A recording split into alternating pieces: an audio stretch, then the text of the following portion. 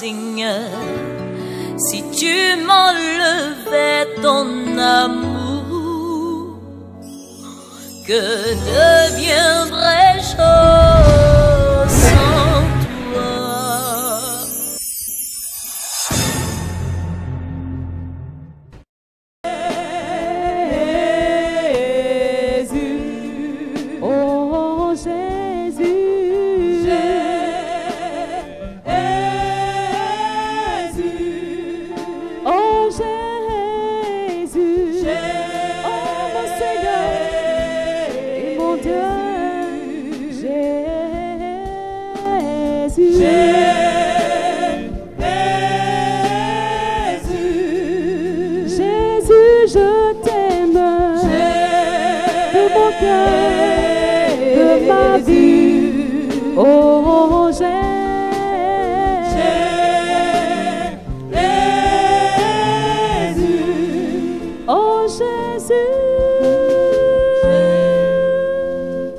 C'est toujours avec beaucoup de joie que je retrouve la communauté mère du divin amour.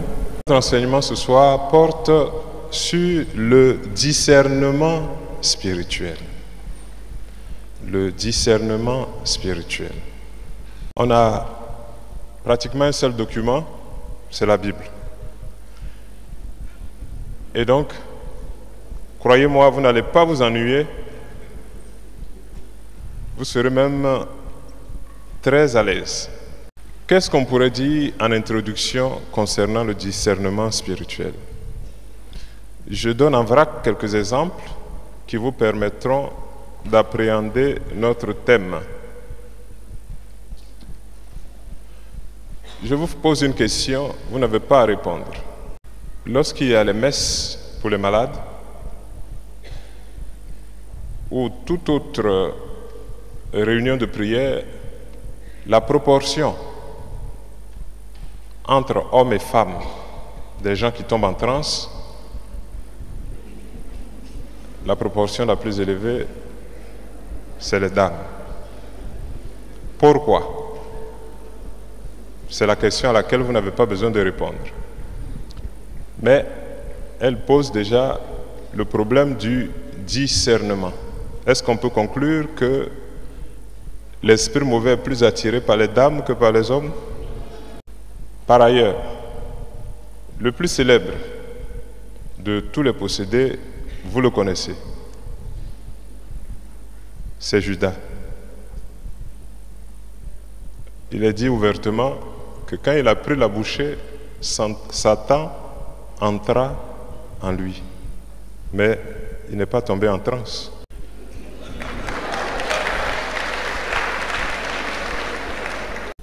Une autre réalité, c'est que pour suppléer à une certaine carence de direction spirituelle au niveau des prêtres, le Seigneur a suscité beaucoup de laïcs qui ont des charismes authentiques, des dispositions intérieures, mystiques, très fortes qui aident d'autres laïcs.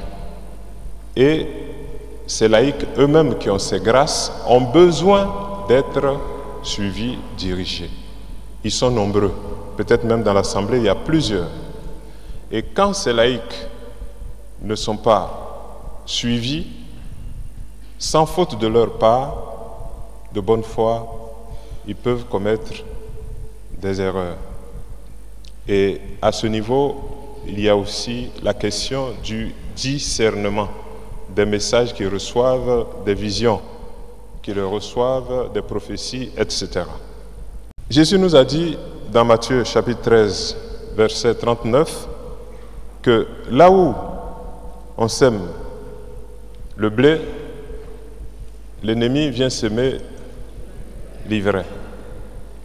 En italien, l'ivraie s'appelle la zizania. C'est encore plus significatif pour nous les francophones. Parce que quand on dit quelqu'un sème la zizanie, nous savons ce que c'est. Mais je ne comprends pas pourquoi en français on a choisi livret. Mais quand on lit l'évangile en italien, qu'on dit qu'on a semé le blé et que l'ennemi est venu semer la zizanie, on comprend beaucoup mieux. Et le blé et l'ivraie se ressemblent. Et cela nous amène à définir ce que c'est que le discernement. Qu'est-ce que discerner? La définition que j'ai trouvée, je ne l'ai pas prise dans un dictionnaire, mais j'espère qu'il vous, vous ira bien. Discerner, c'est faire valoir le vrai, là où généralement peuvent cohabiter à la fois le vrai et le faux, avec le risque de les confondre.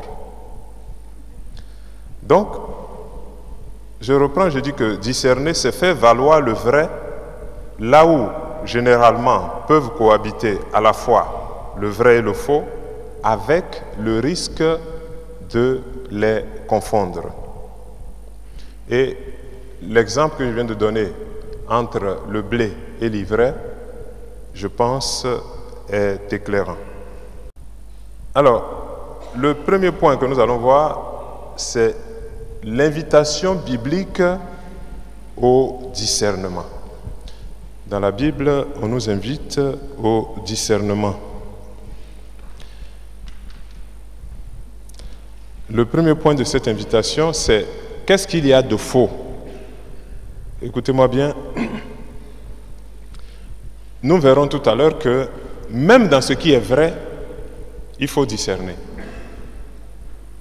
Et la Bible donne des exemples ou des choses apparemment anodines, vraies, viennent de l'adversaire.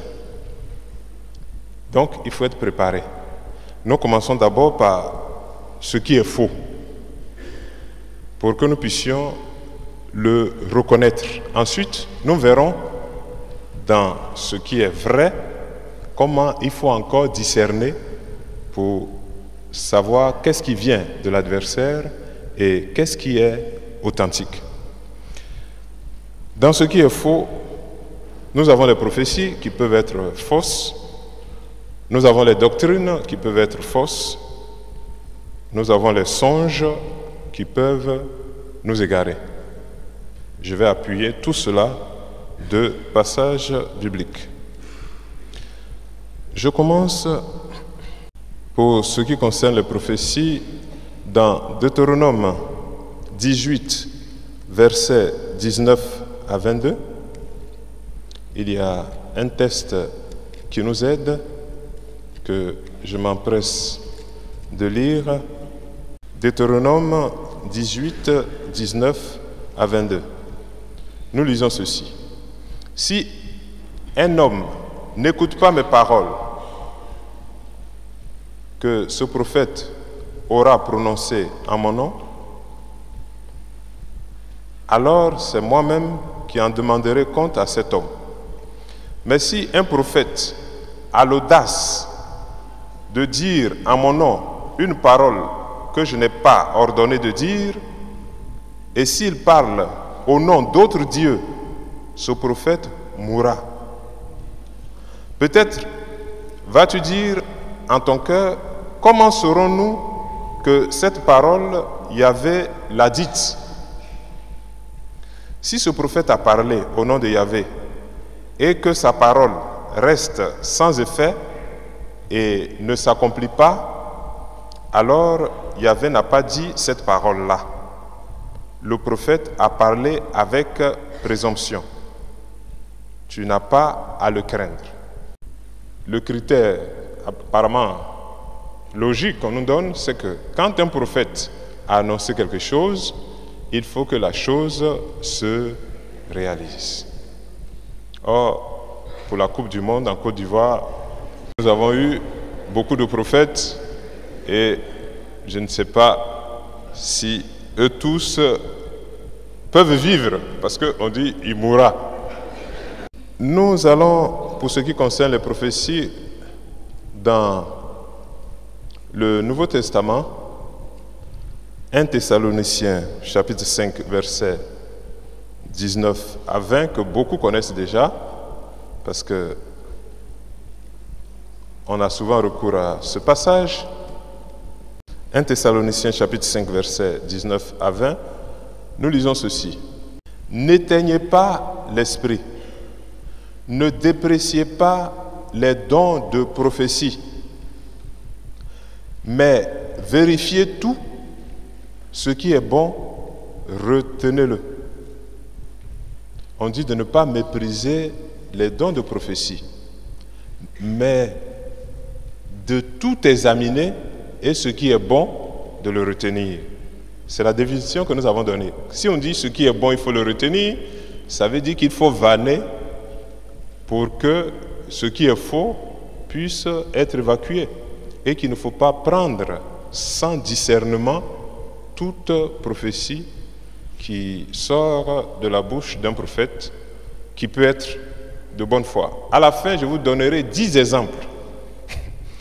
Vous aurez à choisir, puisque nous ne pourrons pas prendre les dix exemples, de cas de discernement de tout genre auxquels votre serviteur a eu à faire face. Voici pour ce qui concerne les prophéties. Alors, il y a aussi un autre domaine où nous pouvons facilement nous tromper. Il s'agit des songes. Vous savez, dans la Bible, il y a deux personnages importants à qui Dieu a révélé des choses très graves par les songes. Vous pouvez quand même dire leur nom. Joseph du Nouveau Testament et Joseph de l'Ancien Testament. Alors, je crois que les Joseph ont un don, c'est de recevoir des messages, de bons messages, à travers les songes. Alors nous prenons d'abord l'avertissement biblique pour être prudent vis-à-vis des songes. Qu'est-ce que dit la Bible? Siracide, chapitre 34, du premier verset au verset 7. C'est la Bible de Jérusalem. La traduction est légèrement difficile. Les espérances vaines et trompeuses sont pour l'insensé, et les songes donnent des ailes aux sots. J'ai dit donc Siracide 34 du premier verset au verset 7.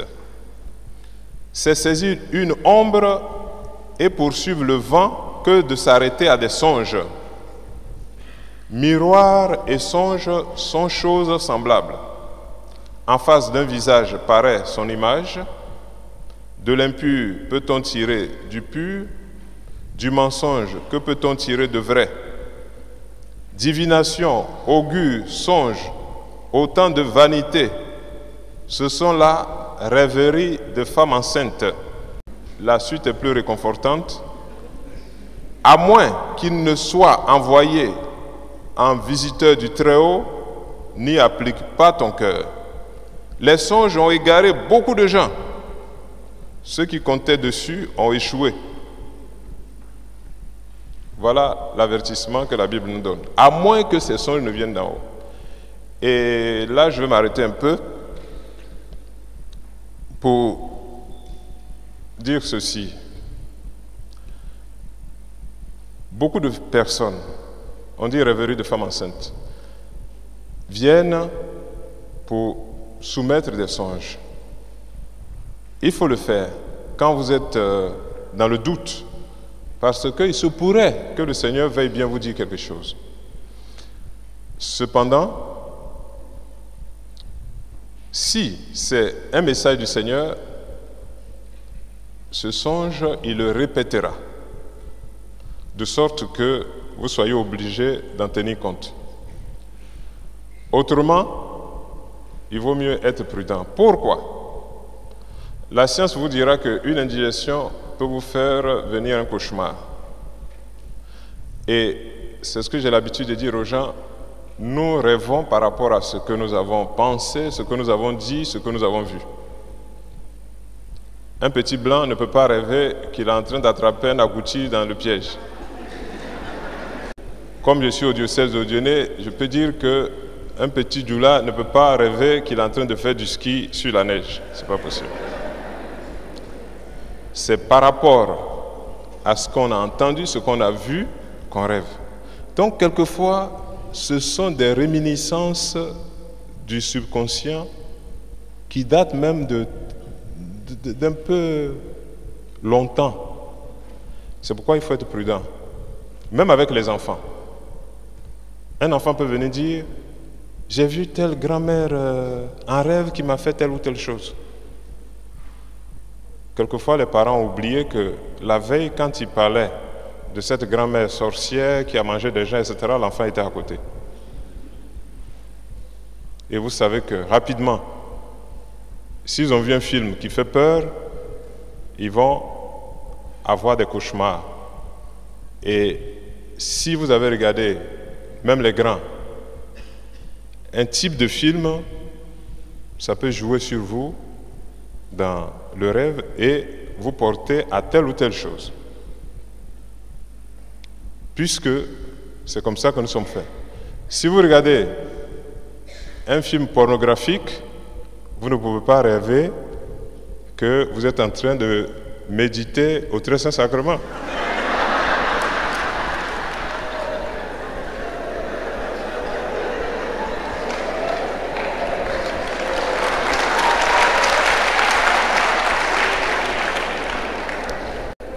Alors, c'est pourquoi la Bible dit, dit à moins qu'il ne vienne du Très-Haut, il faut être très prudent. Et quelquefois, vous êtes très énervé avec quelqu'un, ou bien vous avez dit des choses très violentes, beaucoup de choses rejaillissent dans les rêves.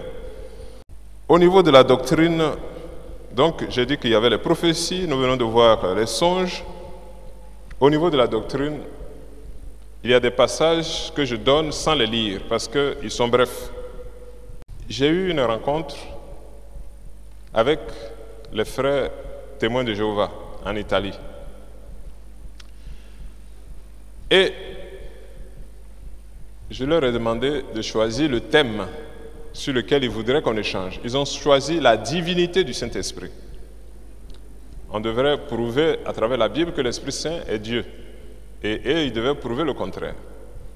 Au début de la rencontre, ils ont refusé de prier avec moi parce que je ne suis pas chrétien.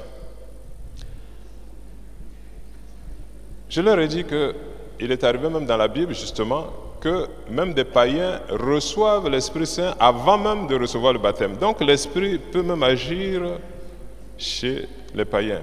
Bref, je leur ai demandé sur quoi vous vous basez pour être sûr que vous avez la vérité.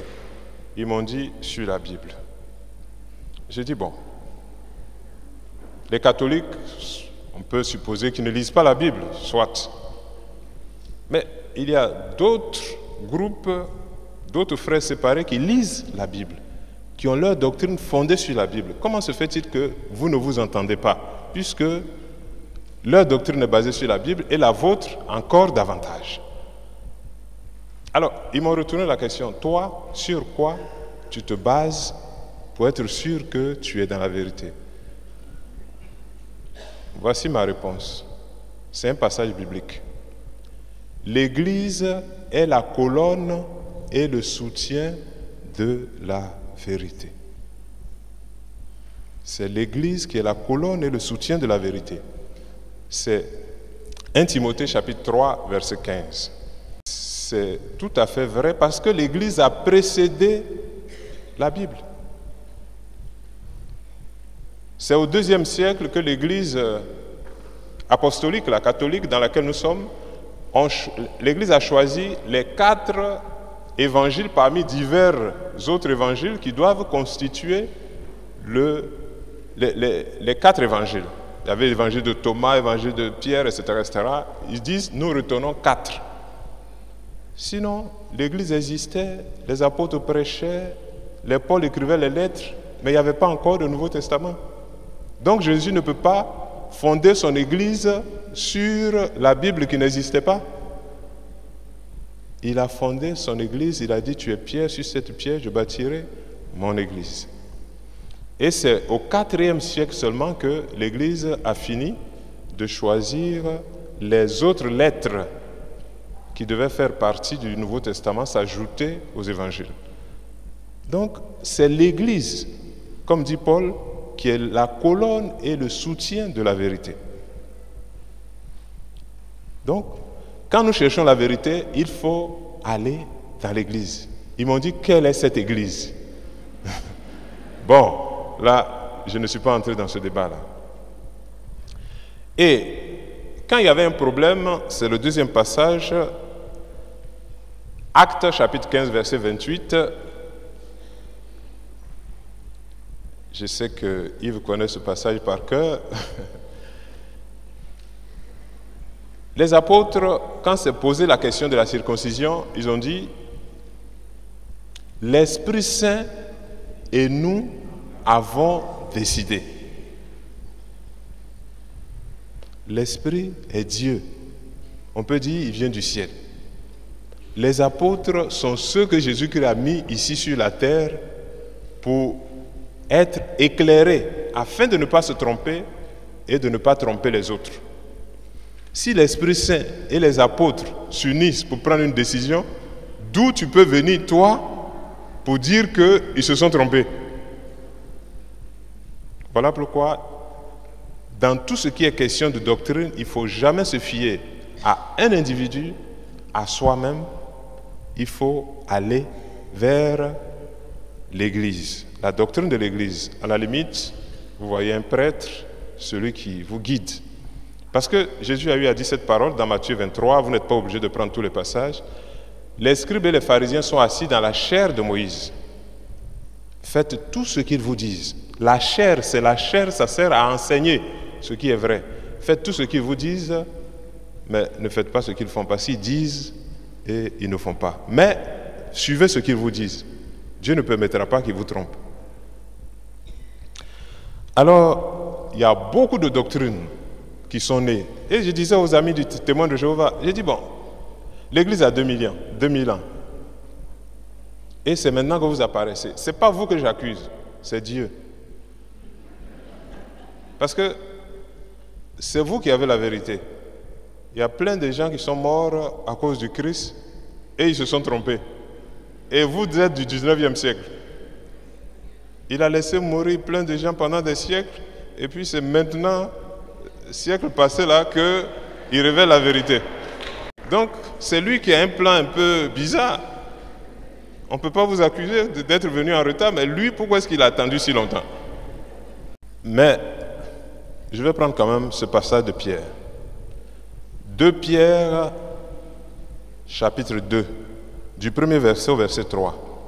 Il y a eu de faux prophètes dans le peuple, comme il y aura aussi parmi vous de faux docteurs qui introduiront des sectes pernicieuses et qui, reniant le maître qui les a rachetés, attireront sur eux-mêmes une prompte perdition.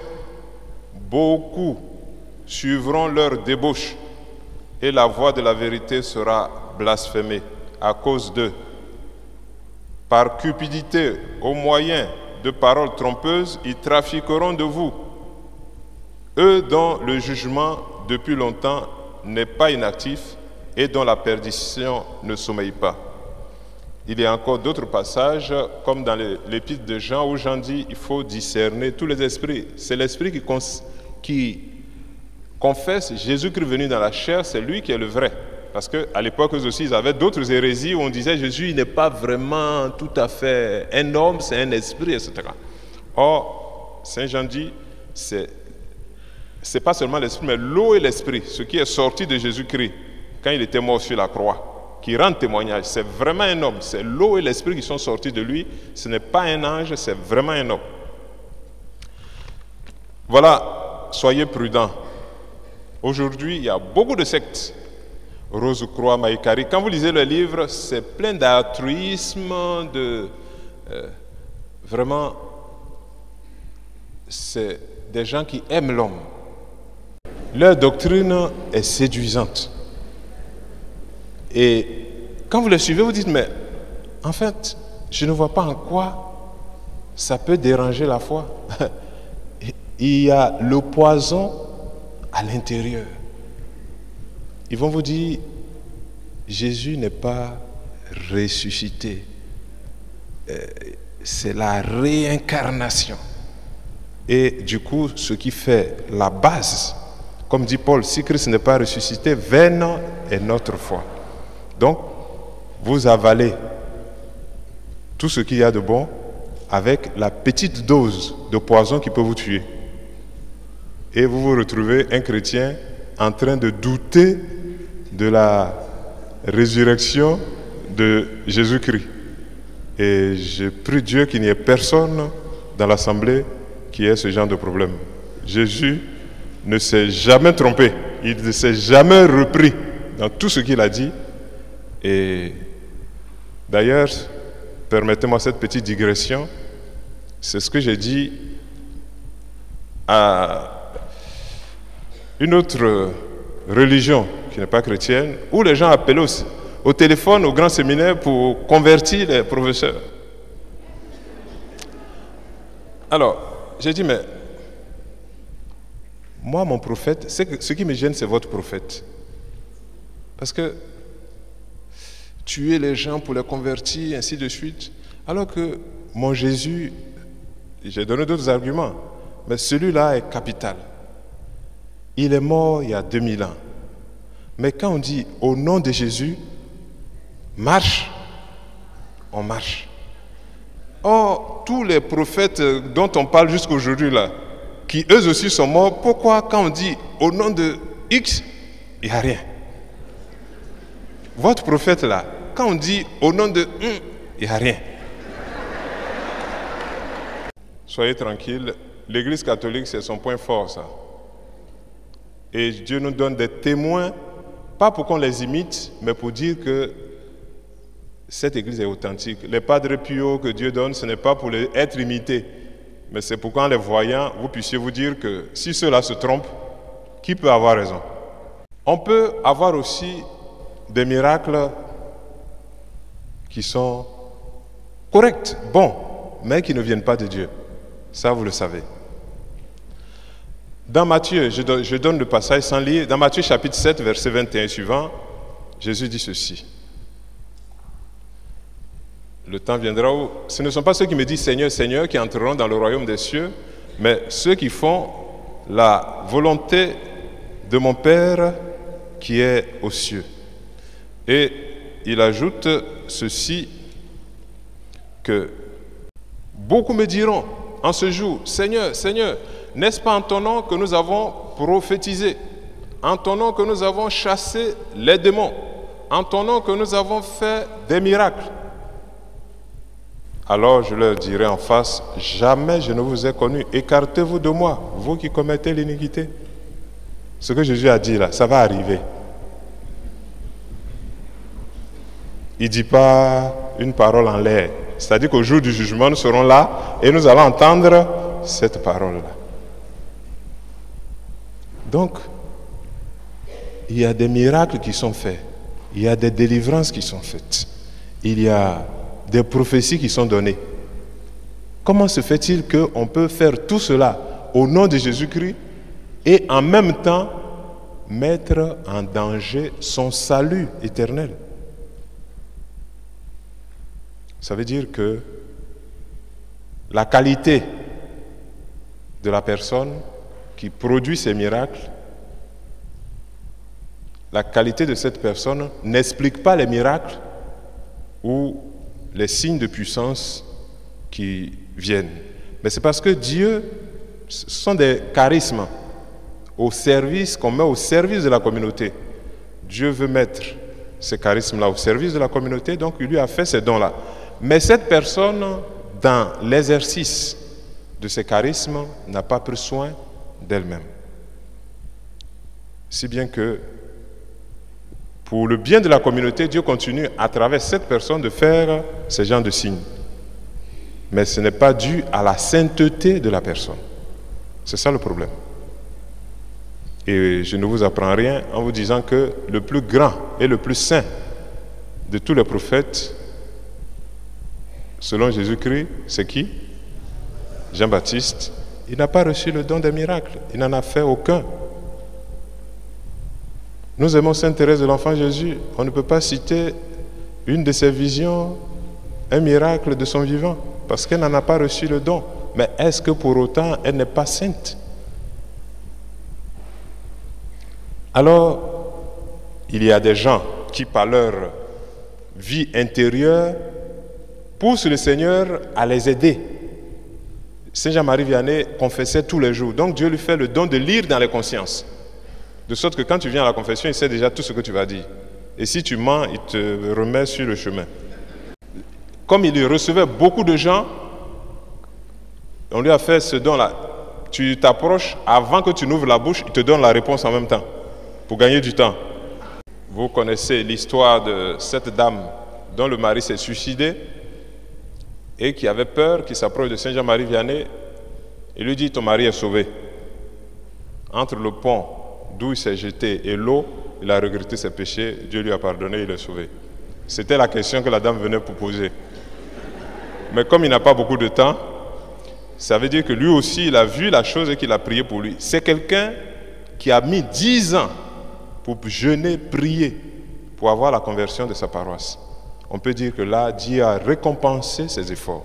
Donc, il y a des gens aussi qui, par leurs efforts, finissent par forcer la main à Dieu pour recevoir les charismes qui correspondent à leur fonction. Donc, les moines qui sont à Boaké, s'ils ne parlent pas en langue, ce n'est pas parce qu'ils ne sont pas saints. C'est parce que là où ils sont, la communauté n'a pas besoin de ce genre d'exercice. Alors, ce que je viens de dire, il y a les dons qu'on reçoit et puis il y a les fruits de l'Esprit. Ça, ce sont les dons de l'Esprit. Les fruits de l'Esprit, vous les connaissez, qui sont en Galates chapitre 5, verset 22. Les fruits prouvent que l'Esprit agit en vous et que vous êtes en croissance spirituelle. La paix, la joie, la justice, la bonté, la douceur, c'est comme un parfum qui rayonne en vous. Et on peut avoir les dons sans avoir les fruits. Et on peut avoir les dons et avoir encore les fruits. Mais gare à nous, si nous avons les dons et que nous n'en avons pas les fruits. Alors, les avertissements de, Jésus, permettez-moi, concernant les miracles, parce que c'est notre point faible. Matthieu chapitre 24, verset 11, nous lisons ceci. Jésus dit, des faux prophètes surgiront nombreux. Matthieu 24, chapitre, euh, verset 11. Et abuseront bien des gens. Par suite de l'iniquité croissante, l'amour se refroidira chez le grand nombre. Mais celui qui aura tenu bon jusqu'au bout, celui-là sera sauvé. Donc, Jésus nous avertit qu'il y aura des faux prophètes qui vont tromper beaucoup de gens. Il va plus loin.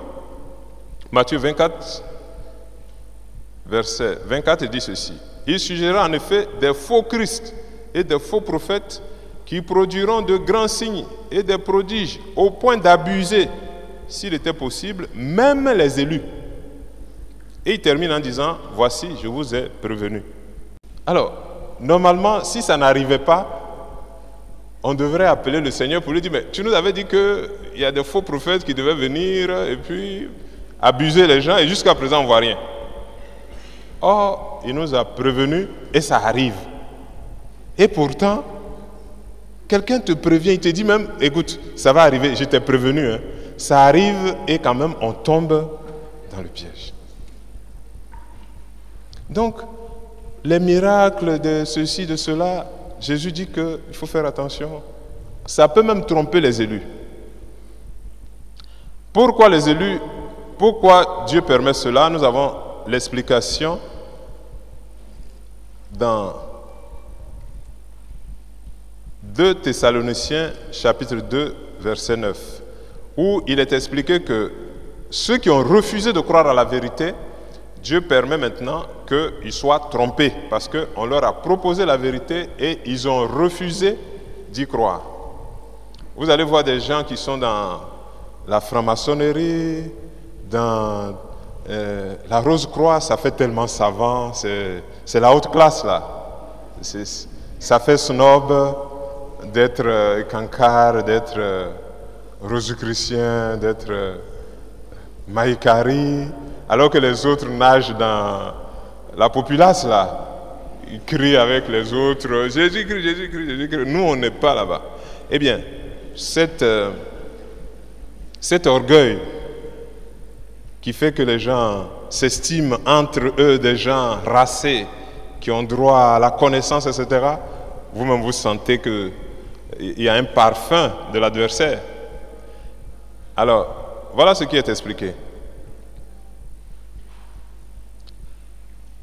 La venue de l'impie aura été marquée par l'influence de Satan, de toute espèce d'œuvre de puissance, de signes et de prodiges mensongers, comme de toutes les tromperies du mal, à l'adresse de ceux qui sont voués à la perdition, pour n'avoir pas accueilli l'amour de la vérité qui leur aurait valu d'être sauvés. Voilà pourquoi Dieu leur envoie une influence qui les égare, qui les pousse à croire le mensonge, en sorte que soient condamnés tous ceux qui auront refusé de croire la vérité et pris parti pour le mal. 2 Thessaloniciens chapitre 2 verset 9. Pour avoir voulu jouer aux connaisseurs, on les a laissés s'égarer. Maintenant, nous avons fini avec tout ce qui peut être faux.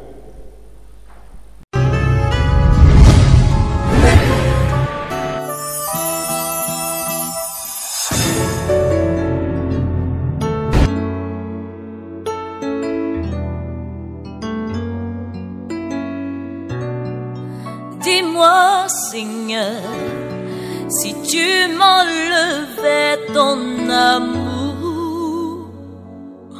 que deviendrais-je sans toi? Dis-moi, Seigneur, si tu m'enlevais ton amour, que deviendrais-je?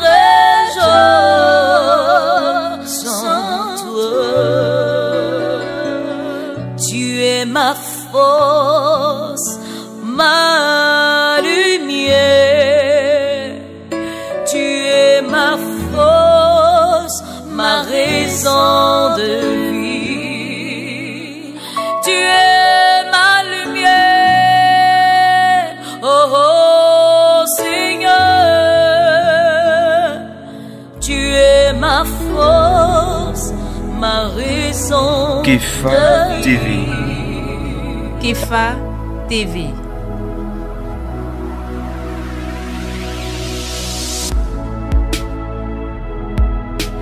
Kifa TV.